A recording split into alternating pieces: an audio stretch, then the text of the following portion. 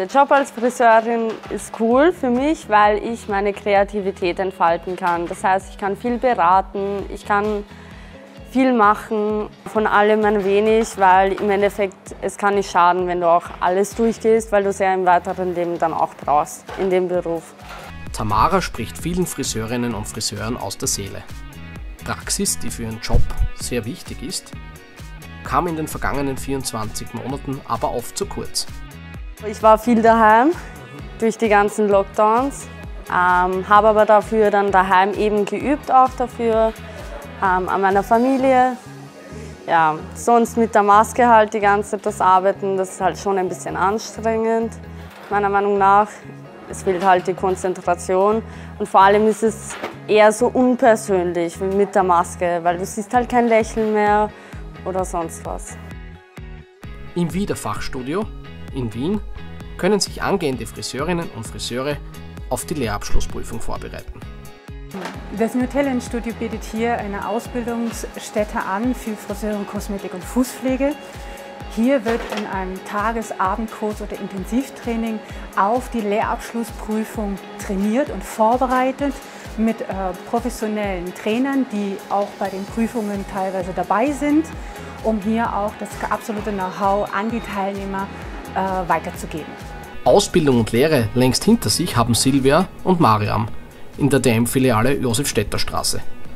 Ein Rückblick auf die vergangenen 24 Monate. Also ich schaue auf die letzten ähm, ja, ein, zwei Jahre zurück. Das, es war aufregend, äh, Angst war natürlich auch dabei, weil man nicht gewusst hat, äh, habe ich nachher noch eine Arbeit oder nicht. Zwecks Lockdown, wir waren zu Hause, ähm, was passiert jetzt? Das Positive daran war, dass uns die Firma wirklich gut durch die Krise durchgebracht hat.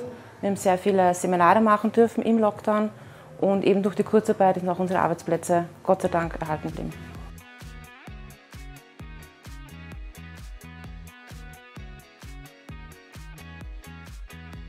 Silvia ist Betriebsrätin. Sie erklärt, warum ihre Arbeit nicht nur in der Krise so wichtig ist.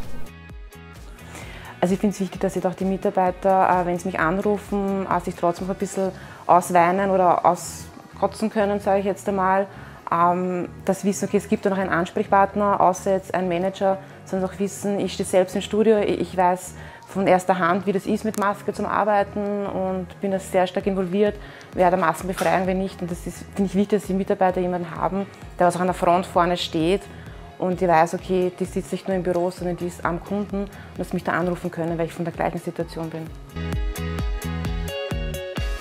Nicht nur Mariam freut sich darauf, dass sie endlich die Masken bei der Arbeit wieder abnehmen kann. Es ist sehr schwer mit der Maske zu arbeiten. Äh, teilweise fällt einem die Stimme dann einfach weg, wenn man länger in der Arbeit ist.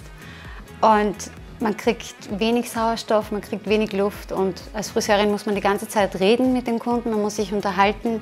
Es gehört zum Job einfach dazu und wenn du die Maske trägst, dann ist das einfach ein Hindernis.